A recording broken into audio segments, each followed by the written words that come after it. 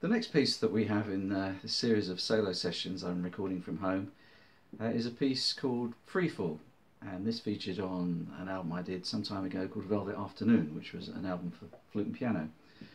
Um, it was chosen back in the 1980s as the theme tune to a Radio 4 program called Just Three Wishes and at the time I thought aha maybe this is going to make my fortune um, hoping it would carry on like Desert Island Discs or something like that. But um, there was a program where um, celebrities came on and said they were given three wishes for anything that they, they would like to have, you know.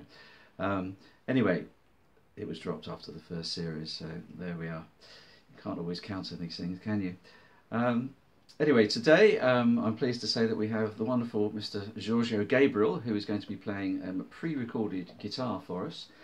so I shall just hit the button and um, you can take it away, Giorgio.